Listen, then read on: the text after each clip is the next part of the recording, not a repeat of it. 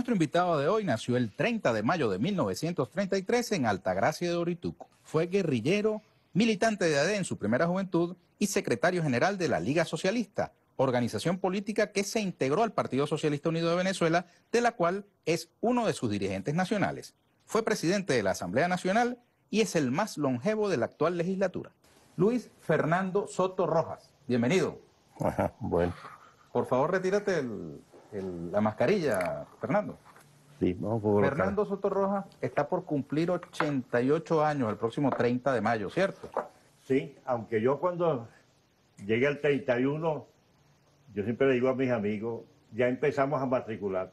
Recuerdo el general Müller, siempre me llamaba al fin de año, Soto, vamos bien porque matriculamos el nuevo año. ¿Qué se siente, Fernando? Cuye, sorprendido. Nunca creí que podía llegar a, 87, 88 años. Por las circunstancias en que le tocó a uno vivir. Casi todos los que, la gente que estaba en los procesos de lucha armada, normalmente en victoria o en derrota llegan a los 36, 37, 40. Pero pasamos un conjunto de circunstancias difíciles en Venezuela y fuera del país y aquí estamos. ¿Y cuál es tu receta, tu secreto? Mi mamá me decía, eh, es que tu mamá te es cuatro años teta, porque mi mamá tuvo ocho muchachos seguiditos y, que yo que me pegaba ahí pues a tomar. Esa era la receta, pues. Pero yo creo que hemos llevado una vida metódica, pues. Yo estuve casi un cuarto de siglo buscado en este país, en tiempo del pereimerismo, en tiempo del punto fijismo, y seguí el cine, fumando muy poco, comiendo generalmente comida directamente de montaña o de llanura. nunca uno tomaba pexicola ni refresco, puras cosas naturales. Pues. pero yo creo que más allá de eso, yo creo que yo a temprana edad tuvimos conciencia política del régimen de PRM de que, de que era autoritario. Y bueno, nos metimos en esa pelea. Estaba yo muy niño, recuerdo cuando se da el golpe del 24 de noviembre de 1948, estábamos en Altagracia, Orituco. La familia... El golpe contra Gallegos. Sí, contra don Rómulo Gallego, que era muy respetado en la casa, y en la casa En esa época tú eras adeco. No, todavía no, pero sí simpatizábamos. Pues. Yo vi las elecciones del año 46-47 por primera vez. Vi cuando llegó la Junta de Gobierno, en ese época Betancourt, Delgado Chalbó. Pero cuando se da ese golpe, estábamos nosotros creo jugando meta con los hermanos míos, Ramón, que desaparecieron, y mi tía Prajedes le dijo a mi mamá, Rosa, recoge los muchachos, porque ya el policía Soledad Perdomo se volvió a poner el uniforme y están patrullando las calles. Bueno, nos recogieron, yo me subí por el tapiado de la casa y efectivamente pasaron dos policías e iba Soledad Perdomo. Serio, y eran tres policías los que había en el pueblo. Pues. Pero eso podía ser otro respeto. Posteriormente entramos al liceo Ramón Buena Hora. De donde te expulsaron, ¿no? Donde expulsaron, pero con la muerte en el año, el asesinato de Carlos Delgado Chalbó, que no era santo de nuestra devoción, oye, eso fue muy repugnante, pues. Nos cayó muy mal a los jóvenes que estudiamos el segundo año de bachillerato. ¿Te impactó? Me impactó y... Porque yo quería, yo iba a estudiar primer año, pues irme al ejército, porque ya mayores que yo, como eh, gente de Altagracia, el hermano mayor de Chela Vargas, el macho Vargas Medina, eh, el capitán Elías Manuel Camero, esos se habían ido a estudiar a la, academia. Y yo, era, yo tenía cierta vocación militar, pero eso de verdad me, me repugnó mucho. Y dije, no, no, no, creo que la vida mía no va a estar por el ejército. ¿Por qué te expulsaron del liceo, Fernando? Bueno, ya eso fue en el año 53. Había un profesor, un cura, el padre Chacín Soto, que era un hombre muy culto. Nos enseñó mucho literatura española y francesa filosofía, jugaba con los muchachos en sotana y esas cosas y tal. Y un buen día iba a ir Pérez Jiménez para allá, la Junta Militar de Gobierno. Por supuesto, a quien invitaban ahí el cura, al presidente del Consejo Municipal, que era familia primero de Juan María Soto, el jefe civil, y cuando lo fueron a invitar, el jefe civil le dijo, ¿quién yo? Póngame preso. Yo tengo un hermano que tengo así. Bueno, aquello pasó, no fue a recibir Pérez Jiménez, y al menos nos enteramos que lo han expulsado del, del liceo. Nosotros teníamos una pequeña organización de cinco células clandestinas de la Juventud y Acción Democrática. Y por esos días también se estaba organizando la Juventud Comunista con Chela Vargas, los Calzadillas, Juan Calzadilla, los Pérez Julieta. Y dijimos, oye, tenemos que hacer una protesta frente a esto. Nosotros teníamos un centro cultural que habíamos redactado un documento allí que se llamaba como que era Andrés Bello y que permitía las protestas y cosas de eso. Y lo había aprobado el director eh, de apellido Torrealba, muy buen profesor también. Pero él se quebró en ese proceso. Entonces nosotros vamos y se levantó el liceo, no éramos más de 300 estudiantes. Le pusimos un candado a ese liceo, le explicamos a todos los muchachos la situación y se levantó el liceo. Después llegó la bola de que andábamos, nos andaban buscando a los de esas cosas y yo pasé a la clandestinidad. Pero varios de los viejos adecos se, asustaron. No, yo no que Sotico se entregue. Entonces fue una comisión de notables del pueblo y me llevaron a la jefatura y me entregaron. A los tres días llegó una, una comisión de la Seguridad Nacional que quienes más estaban amenazándome y cosas de esas y tal. Y dije, mire, eso es una cosa totalmente legal. Traía al director para acá, esto está perfectamente justificada esta protesta. Es un profesor, así Me amenazaron finalmente, me dijo, bueno, ya usted no, no puede estudiar más, ni en este liceo ni en ningún liceo oficial. Y llevé irse del pueblo. De inmediato me soltaron. No, no me fui para la casa, me fui para una, una casa vecina, que eran unos dominicanos, que por cierto no sabía que estaban en la resistencia también contra Chapita. Cuando cae Chapita, posteriormente, él fue el embajador en Venezuela, la familia Aren, casualmente. Oye, llegué a, eh, llegué a Caracas, ya el hermano mío estaba estudiando en el Liceo Fermín Toro, me dijo, bueno, vente para acá. Y en la calle Sol de Madrid, número 85, en los Flores de Katia, estaba la familia Angelino, familia nuestra, y ahí entonces empecé a, terminé mi estudio en el Liceo Independencia, que es un liceo regentado por gente de Acción Democrática y, del Partido Comunista. Y rápidamente conseguí, pagamos 100 bolívares mensuales. Y ahí terminé mi bachillerato. Mira, Fernando, tú has sido guerrillero en Venezuela, en Cuba y en Palestina. ¿cierto? Bueno, eh, yo fui a, Cuba en un curso militar de táctica guerrillera. Pues. Y recorrí toda la Sierra Maestra y nos metieron en el curso militar. Pues. Al año y pico regresé. Pero ya era el periodo del año 66-67, donde ya la lucha armada estaba como bajando. Pues. Después vino la infiltración Machurucuto, que llegaron un comandante, Tomás Eví, que después comandó en, en África más de 50 mil soldados cubanos. ¿Verdad? Que las misiones no empezaron ahora. Lo que pasa es que en aquella época eran secretas y muy voluntarias. Bajo mi mando estuvo ese comandante, dos capitanes y un médico voluntario que no era militante del Partido Comunista. Él era simpatizante del Partido Comunista de Cuba. Y bueno, de eso queda sobreviviente el general Ulises González del Toro, era capitán. Ya está un señor ya mayor, casi 80 años. La última vez que fui a Cuba no lo pude ver, que fue a Fidel, y no, lo pudimos conversar. Pero creo que todavía está vivo. La otra fue por el Medio Oriente, pues. También yo. ¿No fue en Palestina? en, la Palestina, lo que es el sur del Líbano, me invitó al Frente Democrático para la Liberación de Palestina. Llegamos allá, entramos por Damasco, clandestino, pero haciendo un recorrido tremendo, pues. Colombia, Panamá, Francia, etcétera, etcétera, y una buena madrugada llegamos a Damasco y después ahí articulamos con la resistencia y llegamos a Beirut. En esos días se estaban firmando los acuerdos Berlín-Sadat para la paz de Palestina, esa cosa.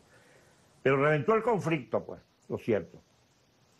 Y yo me iba a ver con el segundo jefe de seguridad.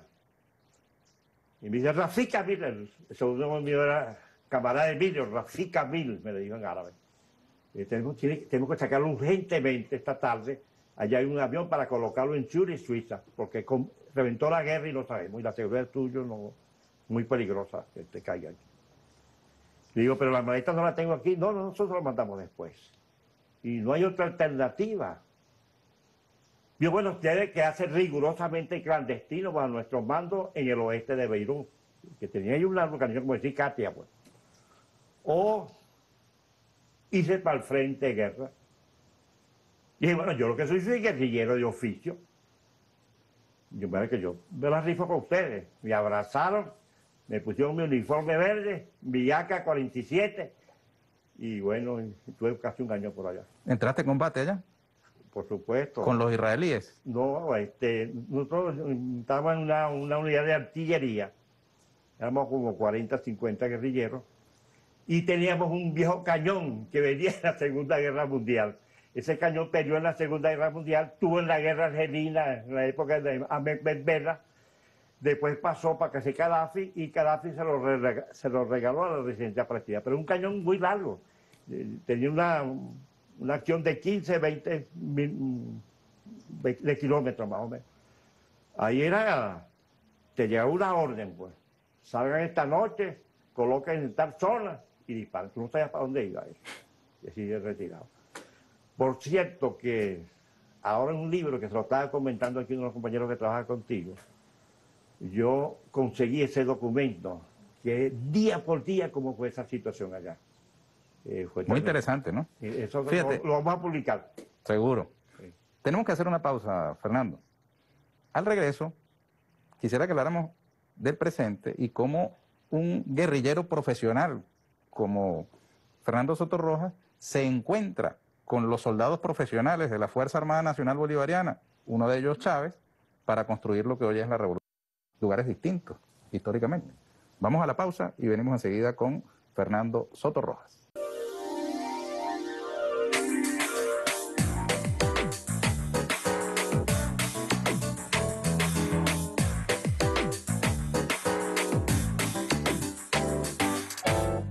Fernando Soto Rojas. ¿Por qué no usas el Luis? Por una casualidad. Yo, casi, tú sabes que antes no se usaba cédula en la cédula que uno empezó a hacer después del, del 50, como el general de Garita. Pues.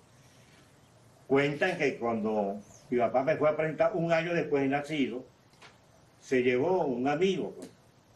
Y puto, pues mi, mi papá le dio la orden porque uno lo seguía por el mano roja, roja, roja el mano roja, que era el, almanaque por el cual uno lo que, lo que nacía era.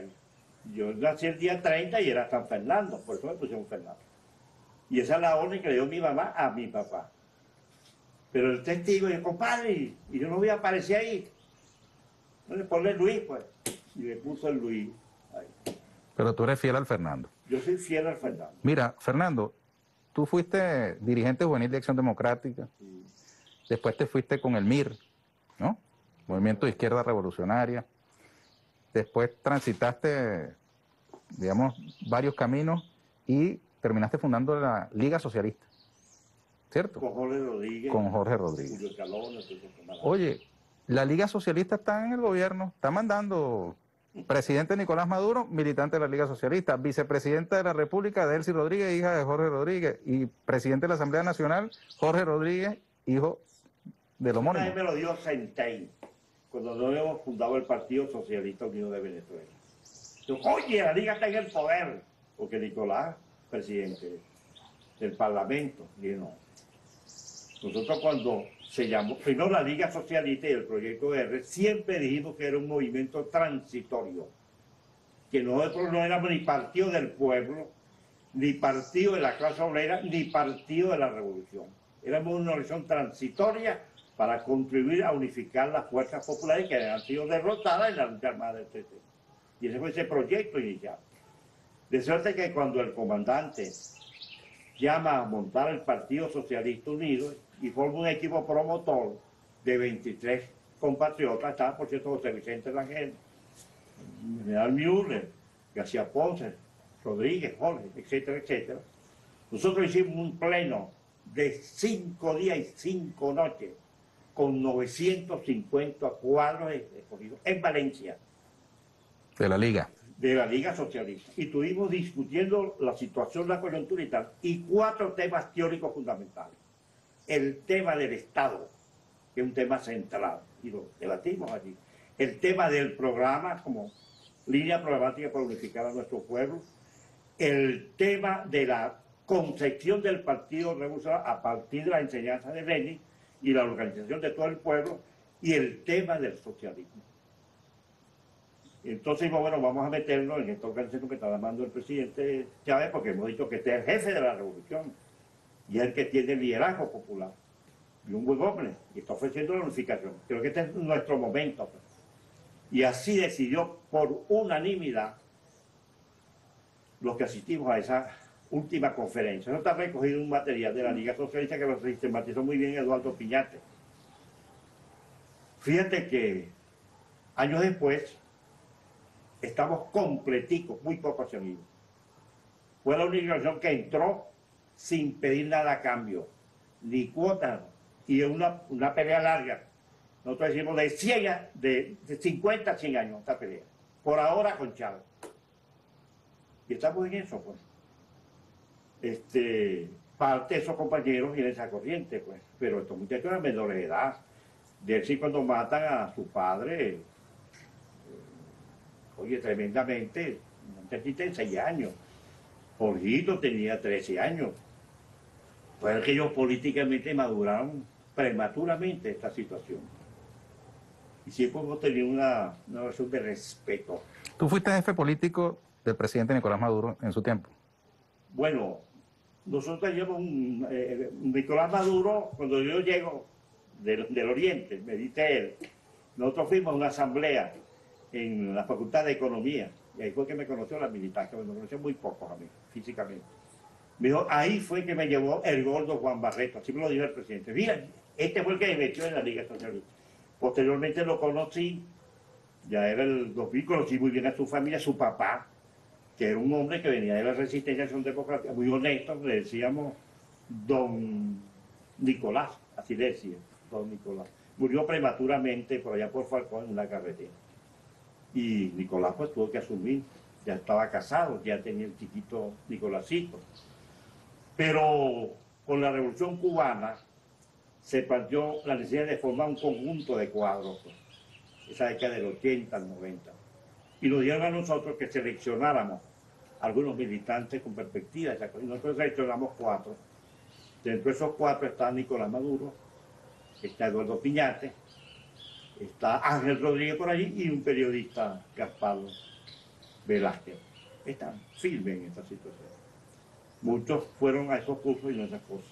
Pero no solamente pasó con venezolanos, sino ese, ese mismo cuento me lo echó el primer ministro de Granada, la, Rafa González, amigo del presidente, dijo la misma cosa nosotros. Nosotros fuimos a estudiar Cuba, a prepararnos, y después dimos, pues, ¿dónde nos metemos después? En el Partido Comunista de aquí, pues eso está muy aislado. Vamos a meternos en el Partido Laborista, construir un movimiento de masa para el poder. Y lograron el poder allá. ¿Qué tal lo ha hecho Nicolás Maduro? Oye, yo creo que objetivamente, bien en lo fundamental porque el presidente Maduro creo que tiene comprensión de los elementos centrales de la geopolítica mundial y regional y nacional. Primero porque él pasó por un largo debate de la última fase de la izquierda y estar siete años y medio detrás del comandante Chávez no es cualquier cosa. Yo creo que esa decisión que tomó el comandante Chávez el 8 de diciembre una buena decisión. Había sin duda un conjunto valiosísimo de hombres y mujeres que estaban alrededor del presidente, pero creo que fue la mejor elección. Y le ha tocado una situación muy difícil. Que ponerse en ese zapato, como dice Diosdado Cabello. revisar nada más tres informes. El informe que presentó Delcy Rodríguez recientemente a la Asamblea Nacional. Están los elementos centrales y con muchas gráficas de todo este periodo que le ha tocado al presidente Maduro el informe que acaba de levantar esta delegada. La relatora. La relatora, pues. De las Naciones Unidas. este viernes pasado, poco tiempo, este es lo que dijo el presidente Maduro y está en el examen de la reorganización de PDVSA. Eso no es cualquier cosa. Pues. Para que nos ha tocado una decisión muy difícil. Primero, un asedio imperialista, yanqui terrible como nunca en nuestra historia.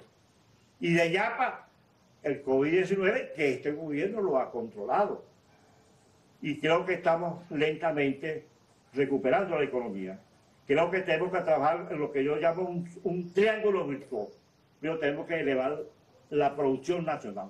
Todo lo que sea producción, hay que elevar esa producción para resolver alimentación y medicina. Pero simultáneamente un proceso de información y formación continua y permanente para atacar la corrupción, para atacar la burocracia y la ineficiencia entre nosotros. Conciencia clara. Y simultáneamente, como estamos en guerra, porque aquí estamos en guerra, señores. Un proceso permanente en la concepción de la, concepción de la lucha de todo el pueblo. La guerra del pueblo, un proceso de, formación integral a todo el proceso miliciano, a nuestro ejército y todo nuestro pueblo. Yo milito, yo soy miliciano, pues. que yo mis hábitos de guerrillero y miliciano los sigo, pues. y trato de cumplirlos en la medida de lo posible. Tú eres miembro de la Comisión permanente de seguridad y defensa integral de la Asamblea Nacional, como diputado. ¿Cómo es ese encuentro con los militares profesionales de nuestra Fuerza Armada, viniendo tú de la guerrilla con un historial de enfrentamiento en los años 60 contra esa misma institución militar? El problema es que Chávez hizo un extraordinario trabajo.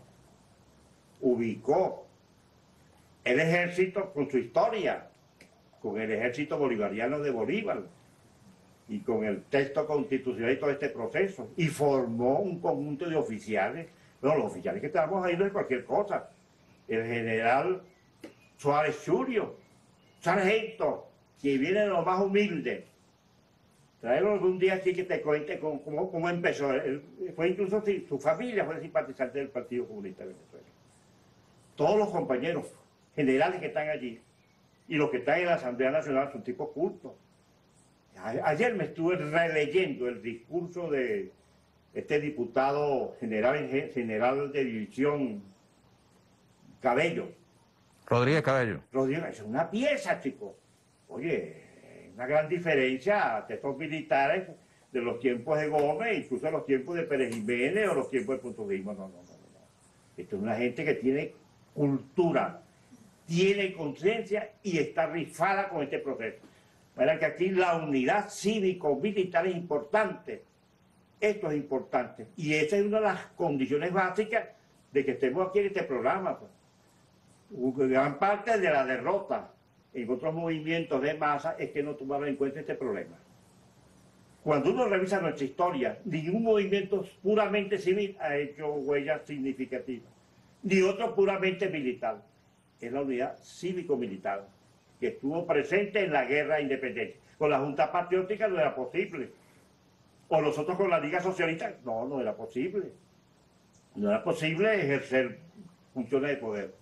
Yo creo que hoy en día plena comprensión política del mando, al, mando que dirige el compañero Padrino López.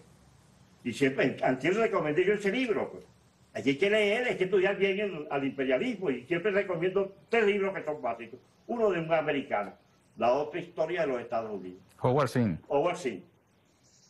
Está en inglés y está en internet que lo pueden conseguir. En castellano, está en castellano. Y está de nuestro amigo Vladimir Acosta, el, chivito Acosta, como lo decimos en 1957. Bueno, le dedicó más de 15 El monstruo y su entrañas. Una investigación muy seria, tomando fuentes norteamericana, muy poco toma fuentes venezolanos de América Latina, algunos dos o tres cosas. Y ese libro está allí, en 800, 900 páginas. Y este reciente de, de nuestro ministro de la Defensa. Pues. La escalada de Tucídides. Exacto, aparte de esa fábula griega, pero te coloca en el 2021 y él dice, hay una situación de equilibrio inestable, pues, entre una contradicción entre la República Popular China y el imperialismo yanqui y depende de la balanza de la Federación Rusa y de la India. Porque es ahí, en, ese, eje, donde, está la situación. Pues. creo que le, dedica poco tiempo al problema del movimiento popular a la escala mundial y todo este proceso ahorita. Estamos tanto hablando de nuevos vientos esperanzadores bolivarianos en América Latina. Vamos a ver cómo va a resultar en la consulta de abril ahora con... con, Araúz, Andrés Araúz en Ecuador. Creo que debe ganar. Fernando, en ese cuadro geopolítico que has descrito, que, lo pinta muy bien el general Padrino López en sus libros, hay un espacio de potencial conflicto aquí donde estamos, en Venezuela. Digamos que ya se ensayó mucho la conflictividad interna, ¿no? Ya los tiempos de la apuesta a la, guerra civil parecieran haber quedado en el pasado, pero eh, las tensiones con los vecinos, con Colombia y con Guyana, están presentes, ¿no? ¿Cómo ves tú? ¿Tú crees que puede estallar eh, algo más de lo que ya ha habido entre nuestros países? Primero, esta nueva administración de Joe Biden es una situación sumamente difícil y sumamente compleja. Está muy aislado políticamente, incluso con sus aliados de Europa. Pues. Y Europa tiene una situación muy difícil, pues, que se agrava ahora con la pandemia. Y por otra parte, los llamados cartel de Lima y la OEA, esto está absolutamente desprestigiado. Pues. Yo creo que estamos viviendo un periodo de decadencia histórica del imperialismo. Su mayor esplendor, sin duda, fue en el siglo XX pasado. En el fascismo con Hitler y Mussolini, con la socialdemocracia Kenny, etcétera, Rómulo de Tancur, etcétera. El socialcristianismo con De Gasperi, Adenauer y Caldera, etcétera, etcétera. Yo siempre tomo en cuenta cuatro elementos centrales para decir que estamos en decadencia. Primero, desde el punto de vista militar, hay una paridad atómica militar en el mundo. No es la situación de hace 50, 60 años atrás, que tenían el monopolio de los yanquis, de las bombas y de todo. No. Hay un equilibrio militar. Segundo, sus tres corrientes históricas que han sustentado al capitalismo desde el, fines del siglo XIX, XX y XXI están en decadencia. La socialdemocracia, el socialcristianismo y el fascismo, que sería otro programa hablar de esas cosas. El tercer elemento es que se ha roto la dictadura mediática mundial que establecieron después de la Segunda Guerra Mundial. Aquí nos metieron cuatro estaciones de televisión y 400 emisoras y, todos estos, periódicos. Todo eso tenían control a nivel mundial. Bueno, eso quedó roto con los satélites, con todas estas cosas, las nuevas potencias emergentes. Ya la gente se informa instantáneamente pues, de lo que está pasando en el mundo. Nosotros venimos del multígrafo, y de la pintica, como me dice una vez un familiar mío, Soto, Fernando, es que es una pelea de burro contra tigre. Y está el control de la economía mundial a través del dólar. Pero cuando tú haces el análisis histórico de Bretton Woods, lo que pasó con la industria petrolera, y hoy eso es insostenible. Y te cierro con esto. Yo estuve en una larga reunión de tres horas y media con el presidente del Parlamento chino. Tres horas y media. Discutimos este problema. Al final, yo soy muy cauto, señor Soto, presidente, habrá que buscar un momento oportuno, porque histórica y políticamente es insostenible el dólar. Más temprano que tarde le va a pasar como le pasó a los maravedíes españoles. Mira, Fernando, tenemos que hacer una nueva pausa. Pero actualmente, en este momento, estamos viviendo en Venezuela la mezcla del bloqueo y la pandemia. Y muchas veces esos temas de los que hemos venido conversando pueden parecerle a quien nos observa en la televisión como lejanos, porque sus urgencias son muy concretas, materiales, la dificultad del acceso a los bienes materiales. Mencionaste el dólar, la eh, dificultad de acceder a, productos y servicios que se cotizan en esa moneda. Quisiera tu visión sobre ese tema después de la siguiente pausa.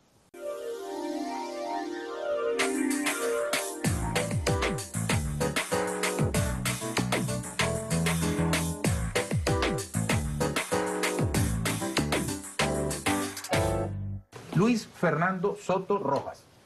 Estamos hablando sobre nuestra historia, sobre la geopolítica, sobre la figura de Fernando Soto Rojas, pero quién sabe si en este momento nos están viendo algunos venezolanos que sentirán esta conversación distante porque sus urgencias materiales son eh, notorias, son, digamos, eh, como todas las urgencias.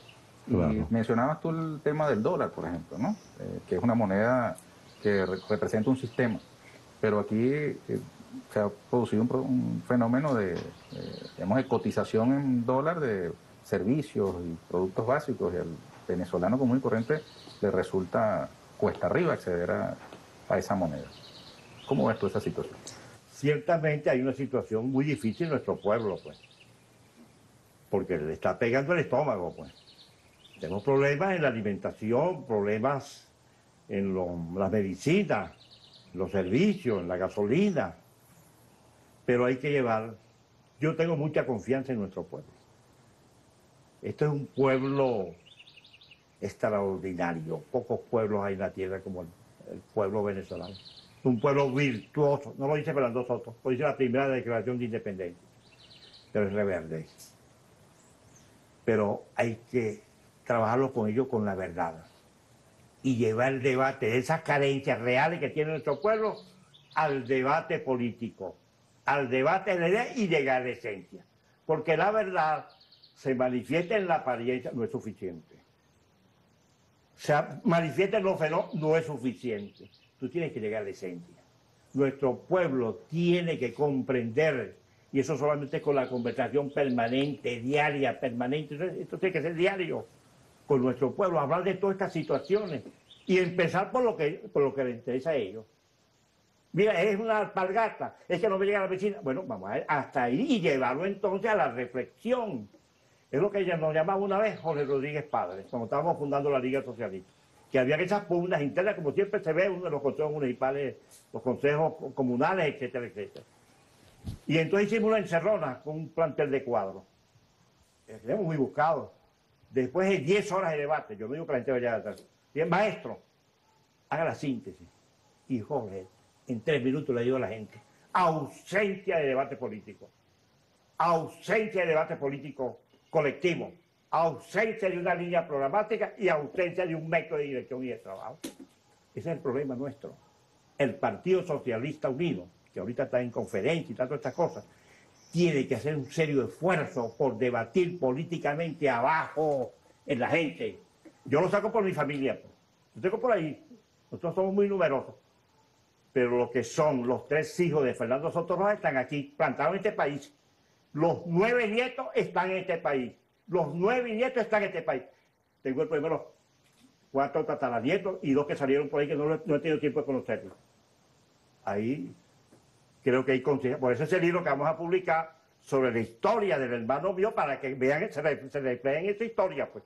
Nosotros tenemos que llevar a la gente al debate político real, a partir de sus necesidades. Si después no tiene zapatos, mira, voy a poner la crisis de zapatos. Y que llegue a una comprensión fundamental, la causa fundamental de estos, estas situaciones que hemos vivido en este periodo y en estos 200 años es la presencia del imperialismo yanqui. El que no tenga, no parta de esa categoría se enreda. Porque no entiende el rumbo, pues. El rumbo histórico para nuestro es construir socialismo en el siglo XXI, lo señaló Chávez. Nuestro rumbo estratégico, fortalecer la República Bolivariana de Venezuela como base de resistencia. Entonces nuestros problemas ahorita son de orden táctico. ¿Y, qué tiene la táctica? Formación y lucha, propaganda, formación, etc. Entonces tenemos que poner acento en eso, hablar. Esta nueva Asamblea Nacional, lo hemos dicho, tiene que pasar de una Asamblea Nacional a una Asamblea Popular, porque es lo que planteó Bolívar en Angostura eminentemente popular, eminentemente justa, eminentemente moral. Este es el discurso. Pues. Entonces yo con la gente me siento a conversar. A conversar con cualquiera. Eso sí, tiempo para escucharlo. Tiene que estar 10 horas. Pero tiene que llegar a la esencia, porque van a creer que vamos a resolver esto en seis meses. Ahí está ese imperialismo. Pero tenemos que derrotarlo con maniobras, con políticas, etcétera, etcétera. Pues. Y, el, problema salarial no es el problema central de este país. El problema central de este país es el poder. Porque aquí lo que hay es una crisis revolucionaria de poder. Es eso lo que tenemos que consolidar.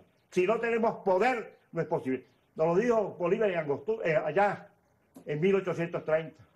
Lo único seguro que tenemos aquí es la independencia. No consolidamos eso. Ahorita lo único seguro, compatriotas que me oyen, programa tiene audiencia, por lo menos en el chavismo. hay que reflexionar, hay que pensar y hay que hablar con la gente, con el que sea. Hay que tener tiempo para todo. Yo tengo tiempo para todo. Eso sí, planificadamente. Lo he demostrado. Yo fui presidente de la Asamblea Nacional. Yo recibí 20 mil personas como presidente de la Asamblea Nacional. Y hice más de 200 mil personas fuimos a actos. Ahí está testigo María León que la llevé a Yaguaná. Y además fui a siete países del mundo. Y decía discurso tengo tiempo. No dije que tiene tiempo para todo. Lo que empezamos. Tú administras muy bien el tiempo.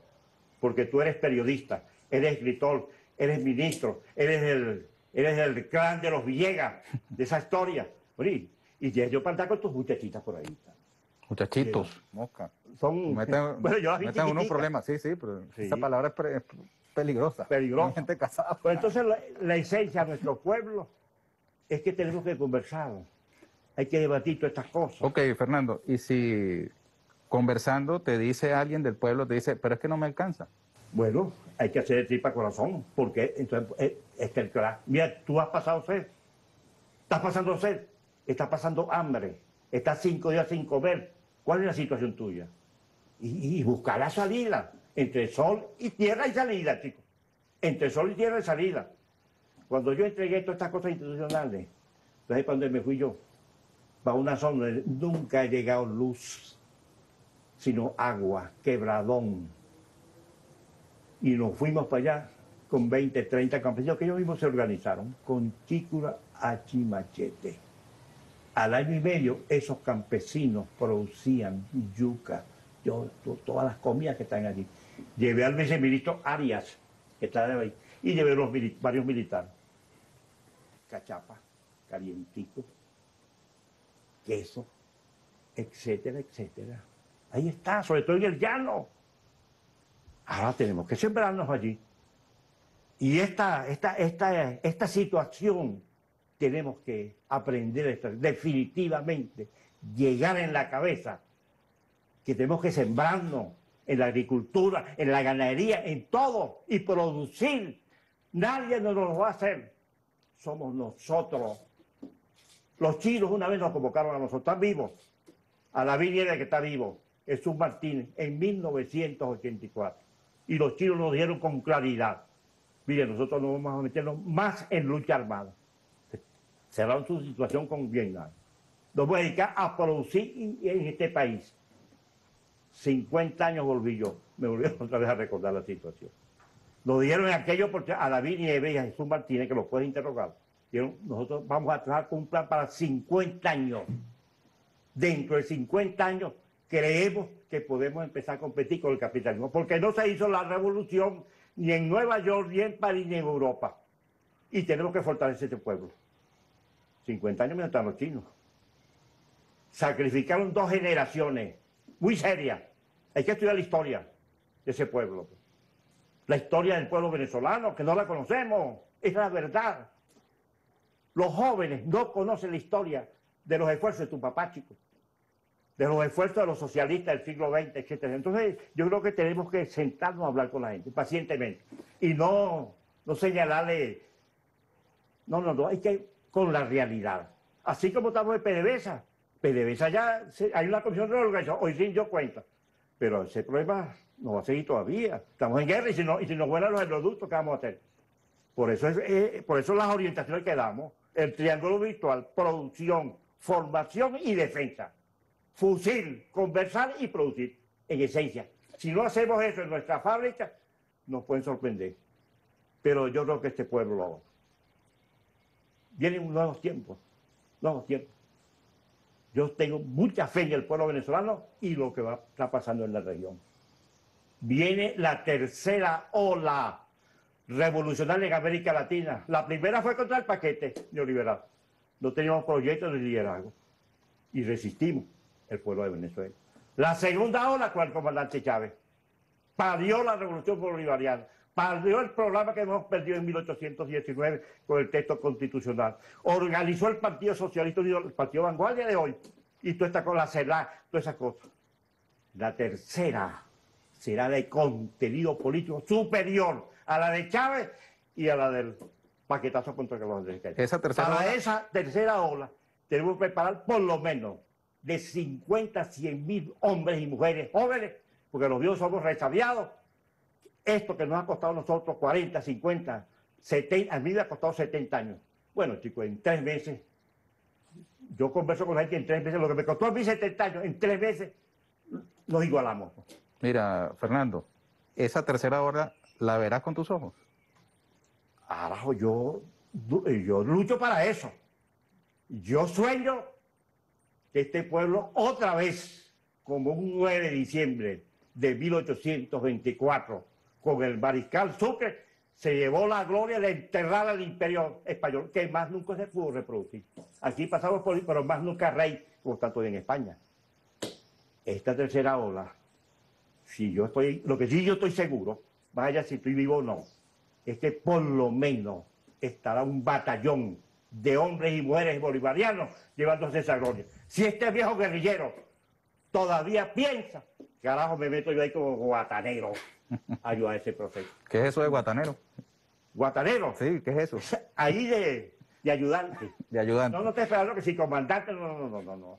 Como soldado ahí, en esa pelea final. Mira, Fernando, desde el 29 de julio de 1964 han transcurrido 56 años, 6 meses y 23 días.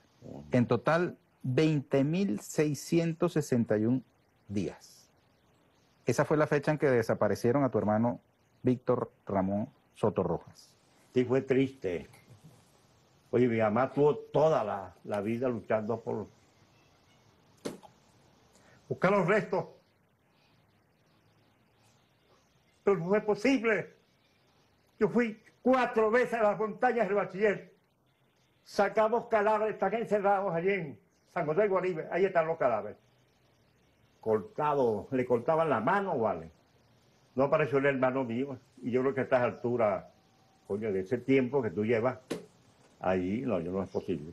Pero Víctor Ramón Soto Roja nos está acompañando, al igual que hoy en día Bolívar, al igual que Zamora, al igual que Jorge Rodríguez Padre, tu mismo papá, fue un puntal del movimiento obrero.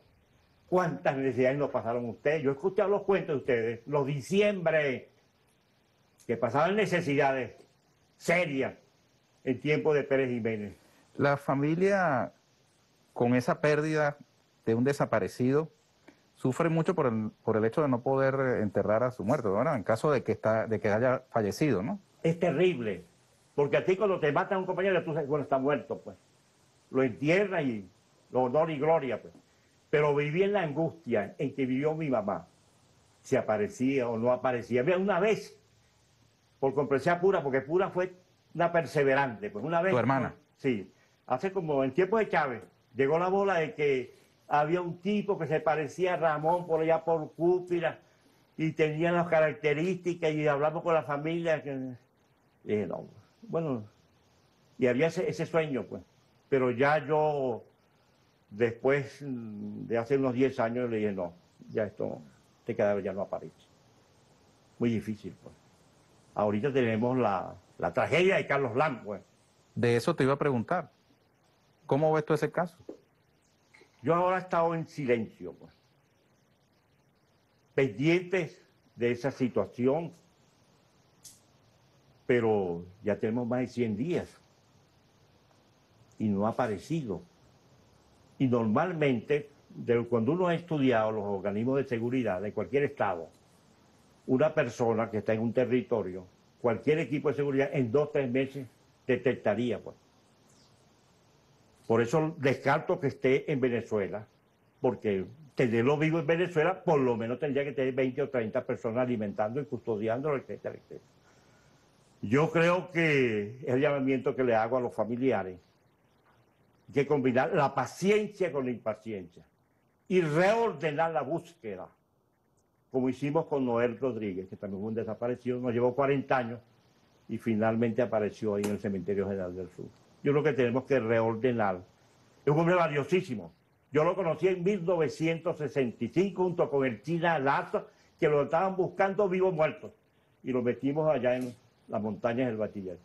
Ahí tuvo unos, varios meses Carlos Blanco con nosotros. Y siempre hubo ese reencuentro y encuentro. Y, bueno, un camarada. Pues. camarada que esperamos, pues yo no, no quiero, cuál es el destino, no sé, no estoy directamente en la investigación. El fiscal general está comprometido a la investigación en este territorio, pero tenemos que buscarlo aquí y en el mundo. A ver si hay una pista sobre el paradero de Carlos Blanc. Esa es mi esperanza. Pero es una, tragedia para sus hijos, para su esposa. Oye, es una cosa tremenda. ¿Te sientes identificado con, ese caso? Por supuesto, sobre todo quien estuvo muy vinculado con Carlos es David Nieves. Eso David escribió hace David escribió unas líneas dándolo ya lamentablemente por muerto. Lo, sí, sí, sí. Lo, piensa, lo siente así. El problema del desaparecido. La familia se resiste a pensarlo y, sus camaradas también. Nadie, oye, nadie, nadie, nadie. Ustedes eh, hace apenas 10 años se resistieron a. Eh, dejaron de la búsqueda, ¿no? Sí, dejamos esa búsqueda ya, sí. Pues, pues Pero duraron 40 en eso, ¿no? 40 buscándolo. Mira, y hay que ver que se, se buscó. Siempre hay que tener un, grupo duro, solidario, que, que, investiguen. No, no, dejarlo nada más al cuerpo del Estado. Bueno, hoy en día tenemos la ventaja que nuestro Estado bolivariano no, no tiene política de Estado terrorista, pues. No, no, eso quedó erradicado en este país, pues. Y hay gente seria en los organismos del Estado eh, comprometidos con esta situación, pues. Podemos haber cometido errores, limitaciones, pero no, no, no. Para mí, el, fiscal general de la República, el joven poeta Tare, es un hombre honorable, pues. Para mí, el presidente Nicolás Maduro es un hombre honorable, pues. Que ha tocado una situación difícil, pues. Y ustedes, ministro, también, pues. Entonces hay que tener fe y esperanza en esos hombres y en esas mujeres, pues. Y que tarde o temprano vendrá un indicio, que no sabemos cuándo, es lo más que yo te puedo decir frente a esto, que nos duele mucho. Mira, Fernando, tú combatiste a la dictadura de Pérez Jiménez, ¿verdad? Tenías 25 años en el año 58, ¿ah? Cuando cayó Pérez Jiménez tenía 25 Ah, sí, no, 23, 24 ¿Ah? años, sí, jovencito. Y luego en la Cuarta República, con la democracia punto fijista, a tu hermano le hicieron lo que le hicieron, ¿no? Ahora, tú formas parte de un movimiento político eres dirigente nacional de un partido político al que internacionalmente se le ha colocado la etiqueta de una dictadura, la dictadura castrochavista. ¿Cómo ves tú eso? ¿Cómo te sientes cuando escuchas eso, cuando te señalan de eso? Con el permiso de la audiencia, yo no le paro bola a eso. Lo han dicho. Ese libro que ustedes acaban de sacar, Bolívar contra Bolívar que es la defensa de Simón Rodríguez contra el Libertador. Ahí están todos esos epítetos. ¿Verdad que eso, es un oficio? Bolívar en una carta que dirige a Pedro Gual, que es en 1820, le dice, los enemigos son, nuestros son los godos. Eso hay que atacarlo duro. Los otros son enemigos del general Bolívar. Eso los atacamos dejándolo huir y que el tiempo los entierre. Se ha criticado mucho, sobre todo al presidente Nicolás Maduro, pues. Pero cuando resplandezca la verdad totalmente en el globo terráqueo, ¿qué va a pasar? Que se va a cambiar la situación, pues, en el mundo. Y cuidado si el propio Nicolás Maduro supera al liderazgo del comandante Chávez y al liderazgo de Bolívar, porque lo han satanizado tanto a todos, chicos. Bueno, esta, bella mujer, Tibisay Lucena, que lo, vimos hace poco. Es una bella mujer. Oye, nosotros tenemos gente respetable en este país, pues. Y todo, eso está comprometido, esa palabra empeñada con la revolución boliviana a afrontar y resolver todos estos problemas. Porque el pasado no nos ofrece absolutamente nada. Aquí el capitalismo no ha gobernado a través de un sistema. La dictadura militar clásica, tipo Páez, con Vicente Gómez, eh, Pérez Jiménez, etcétera, eso se agotó. Con los acontecimientos del 23 de noviembre, eso no es posible hoy en día. Y la otra forma es el régimen liberal burgués, que también se agotó. Agotó. ¿Qué queda? La democracia participativa, protagónica y decisiva. Y avanzar hacia el Estado comunal, que son los proyectos del presidente. Para que esta asamblea y este tiempo va a ser muy definitivo. Yo creo no me gusta someter la política a fecha, pues. Nos lo enseñó Leonardo Ruiz Pineda hace años atrás. Pero esta década, 2020, 2030, va a ser muy decisivo para el destino de Venezuela y para el destino de la región. Anote eso y dentro de 10 años, si este viejo guerrillero todavía respira, me llama a, ver esta, esta grabación suya. Cuente con eso, compatriota. Mira, Fernando, ya estamos por finalizar, pero de pronto cualquiera que te observe este, puede imaginar que tú eres un tipo eh, dogmático, con tus principios revolucionarios irreductibles, guerrillero, hombre de fusil en mano, pero quienes te conocen saben que eres un hombre de diálogo. Incluso eh, ahí recuerdo de una buena relación tuya con María Corina Machado que te dio un abrazo incluso cuando la muerte de Chávez. Sí, hombre, oye, cuando nos llegó que daba información al presidente Maduro, estábamos en sesión de la Asamblea Nacional. Cuatro y media de la tarde, güey. Y esa situación, yo dije, no, que tú me la dices pues todo el mundo llorando y la cosa no pegó mucho, pues. Tú no, pues tú eras ministro y más o menos, seguramente, bueno, tú, eras el que nos daba los partes, pues. Y yo le dije a Freite, que era el secretario, Freite, pero vamos a, ya no está para allá, el, para acá, para el, hospital militar, pues. No, ya yo tengo dos, dos autobuses y, ahí nos fuimos. Pero estaba María, María Corina en una esquinita por allí. Nosotros, usted puede hablar conmigo.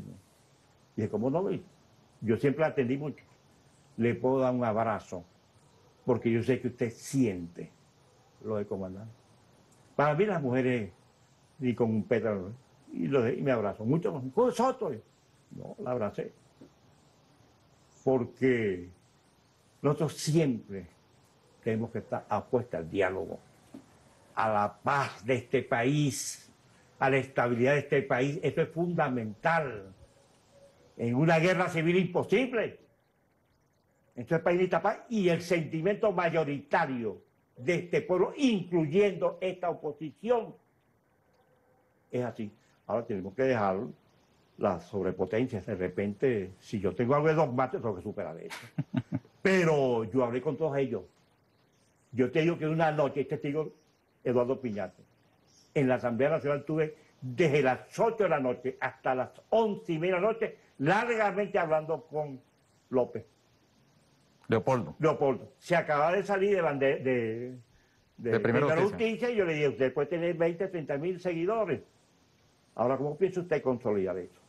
Después que creímos confianza y en el Twitter dije, solo con la Constitución. No comete el error de subir escaleras. Bueno, a los dos años inventó la salida y le salió la entrada. La, oposición tiene que reflexionar frente a esto, chicos. Estos ciudadanos que hoy en día nos acompañan en la Asamblea Nacional, bueno, ellos han manifestado que sobre la base de la Constitución y sus principios. Ese es el punto de partida. El punto de partida es la ley. Y sobre esa base llegamos a la verdad. Pero la verdad, como dice Antonio Granche, cuando resplandece, es revolucionario. Cuando resplandezca plenamente la libertad, la seguridad y haya elevado el nivel de conciencia de todo nuestro pueblo, desde el punto de vista cultural, porque en una revolución es un tema cultural, pues son las altas responsabilidades que tienen ustedes aquí.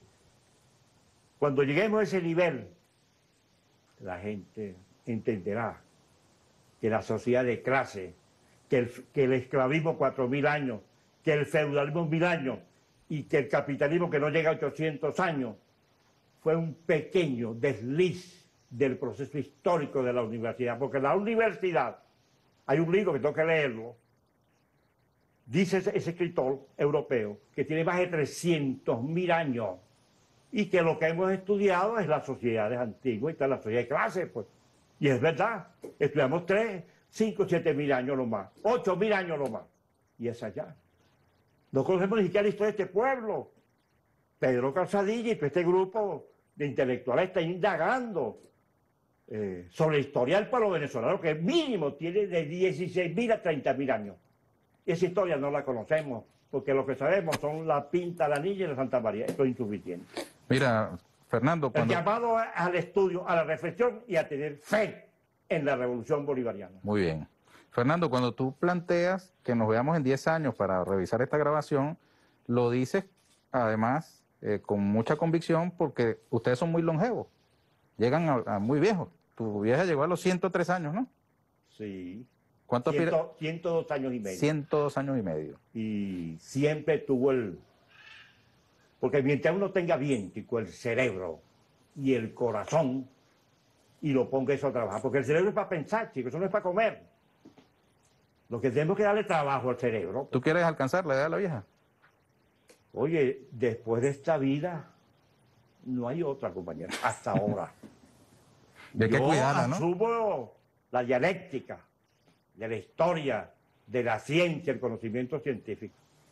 Respeto a los misticismos profundamente respeto esa situación. Pero yo creo que hay que, hay que volver a la ciencia, al conocimiento científico. Carlos Mara, a temprana edad, nos describió esta sociedad que está en decadencia. Y Bolívar nos señaló un rumbo que está en el sueño de Angostura. Todavía no hemos llegado al sueño de Angostura. Y todavía no hemos llegado a Puerto Seguro. Puerto Seguro es cuando este pueblo se lleve la gloria junto con los pueblos de la región y del mundo articulados democráticamente y entierren por lo menos al imperialismo yanqui.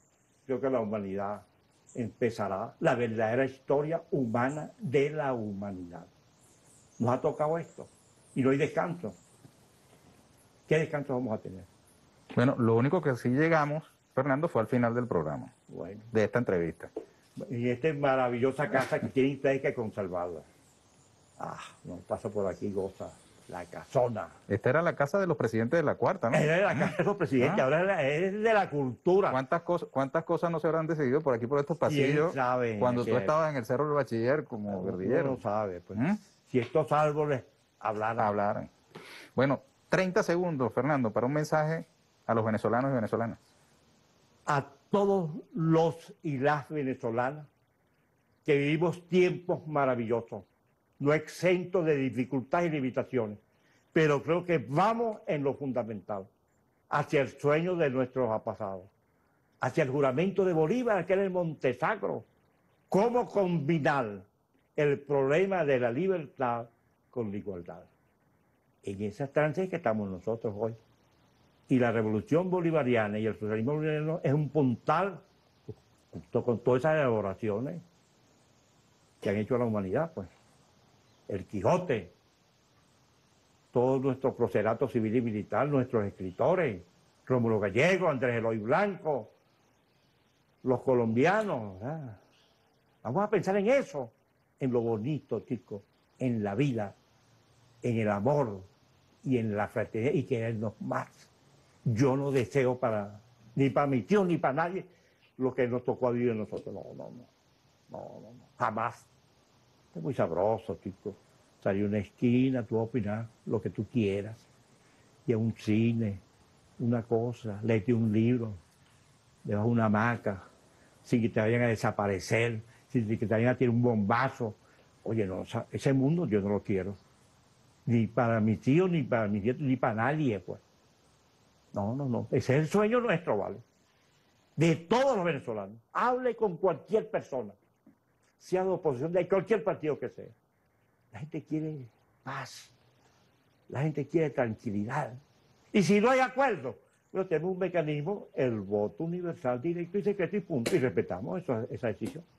Eso es lo mejor. Cúmplase. Cúmplase, maná, como dice el presidente. Bueno, Fernando, infinitamente agradecido. Que no sea la última, ¿ah? Nos volvemos a ver antes de los 10 Yo años. nunca he perdido ¿Ah? mi relación con los Villegas. Ni la perderá. No, jamás, jamás, jamás. Muchas gracias. Te agradezco. Colócate, por favor, de nuevo el- Ah, ok. el- el- Ay, la mascarilla para yo quitarme la mía y poder eh, despedir este programa como Dios manda.